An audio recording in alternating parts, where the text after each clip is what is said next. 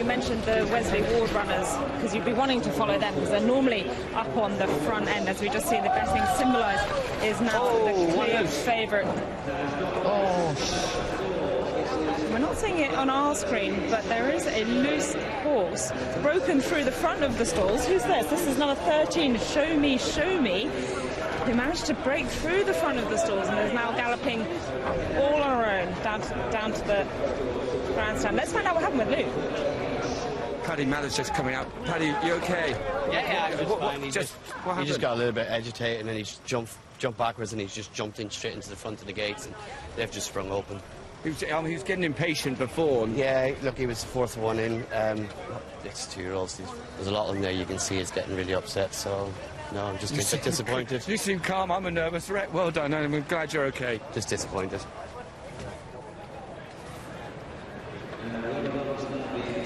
Disappointing, of course, because the horse cannot come back and take his place. So, had been in for a while. The handler wasn't oh. long out of the way. This horse got impatient.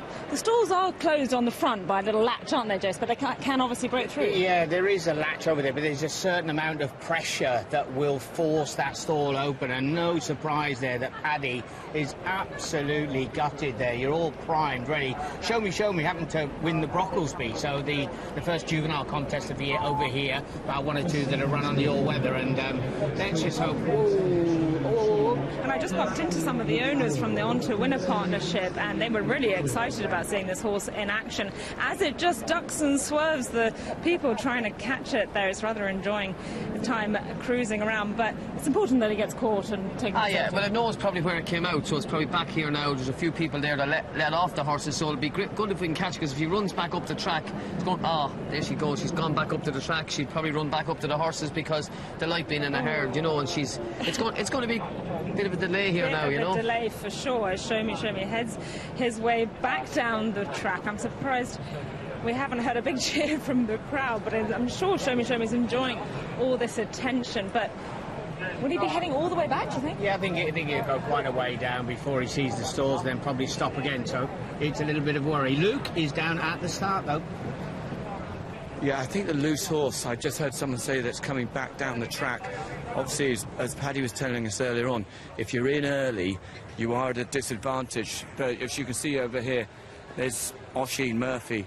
He was in early on Illusionist, uh, Illusionist and um, they took that horse out now. So obviously, no, they can't start loading these horses until the loose horse has been caught, obviously for on safety grounds. But um, it's uh, it's so frustrating. Just when you're talking to Paddy, you know, these jockeys. This is not only a big occasion for the for the owners and trainers, but for for the jockeys as well. And just see Oisin just leading his horse around, trying to keep the horses calm as possible.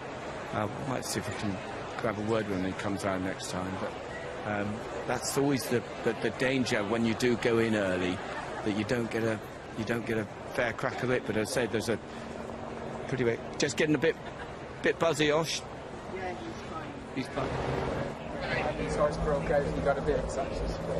Cheers, well a done. Anyway, of let's grass. hope we show me, show end me. it. Is thinking I've done my running. I'm going to have a little bit of a, a nibble, managing to avoid anyone catching him. Hopefully, it won't be too long. They've asked the crowd to be quiet so that they don't rev up the horse, so some, someone can just approach quietly. And there we go.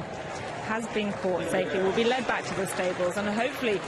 The action can be underway shortly as they'll keep loading the other horses. As if you're a jockey down at the start, this horse has broken through the, through the stalls, has created even more of a delay. How much of an inconvenience is it?